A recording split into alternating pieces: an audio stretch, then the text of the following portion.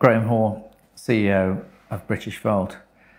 With any transformation, with any major shift in, uh, in the way a product functions in its marketplace, inevitably there are winners and losers. Um, as we electrify the world's highways, we're going to find that suppliers who are in the supply chain for today's cars and buses and trucks uh, will either be winners, um, they're able to transition and create new solutions, new, maybe it's batteries or maybe it's motors, when they might have in the past produced pistons or, or compression rings. Um, and they're able to create new value going forward in that new world.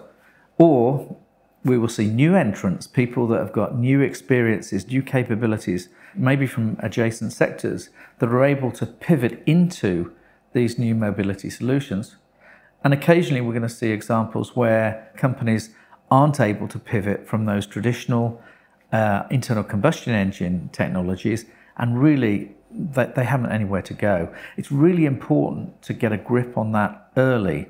We are going through this transition. It's important to work out your company, where your company sits on that spectrum, and actually aggressively start to change the shape of your activities. We can all go through this journey and we can all thrive and uh, not just survive, we can all thrive. And so I'd encourage you to understand where you are on the journey, understand what your company can do uh, in the brave new world, and go for it now. There's no time like the present to set the future.